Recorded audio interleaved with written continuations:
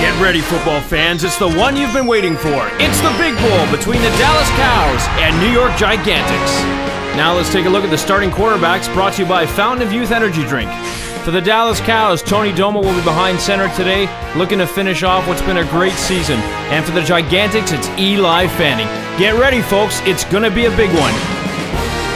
Early first quarter, Gigantics with a good opening drive here.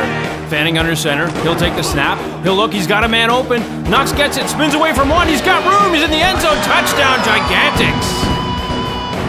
Start of the second quarter now. Domo's brought them down within the five. Domo takes a snap. He'll drop back. Look. He's got a man. Throws it. Touchdown, Cows. It's all tied up.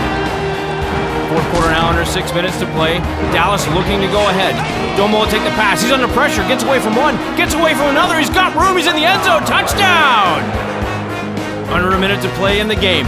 Fanning under center. The Gigantics need to score on this possession. He'll throw it out to the left. It's caught. He's in the end zone. Touchdown!